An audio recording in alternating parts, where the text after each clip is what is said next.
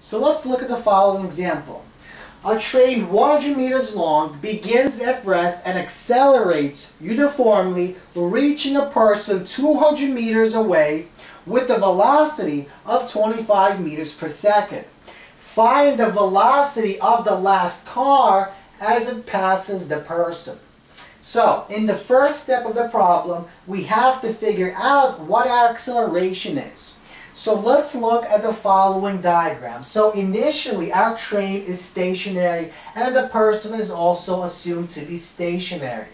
Now the person and the front of the train is 200 meters away.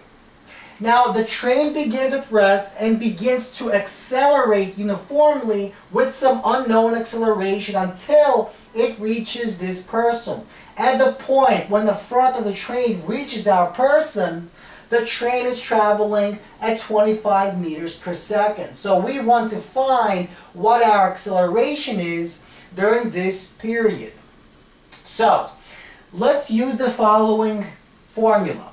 Our final velocity squared equals initial velocity squared plus 2 times our unknown acceleration times our displacement x. So we know what our displacement is. It's 200 meters. We know what our initial velocity is. It's 0 meters per second. And we know what our final velocity is. It's 25 meters per second. So let's rearrange and place A on one side and everything else on the other side. We get A equals v squared minus v naught squared divided by 2x. So v naught, our initial velocity, is 0. So this term cancels. So we're left with 25 meters per second squared, which is 625 meters squared over second squared, divided by 2 times our displacement. So 2 times 200 is 400 meters. We divide the 2 and we get approximately 1.56 meters per second squared. So this is our train's uniform or constant acceleration. So now that we know our acceleration of the train, we can use this information to find our velocity of the last car as it passes our person. So let's go to part two. So this is our initial situation. Our initial condition is that the train just passes our person with a velocity of 25 meters per second.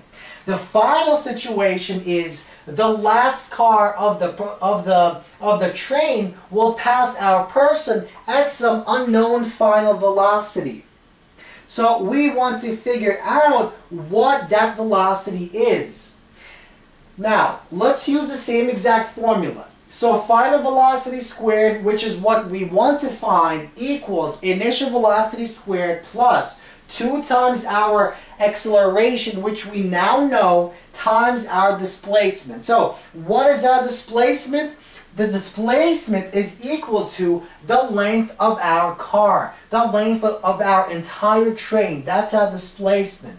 Because when the train begins at this point and ends at this point, the train has traveled 100 meters because the train is 100 meters long. So let's plug in our unknown, or actually before we plug in, let's take the radical of both sides to get rid of this 2. So we get our final velocity is equal to radical v initial squared plus 2ax. So a is, is 1.56, v naught squared is 625, and our x is 100. So we multiply these guys out, we add them up, and we get radical 937. So our v final in other words, our final velocity of the train as it passes the person is 30.6 meters per second.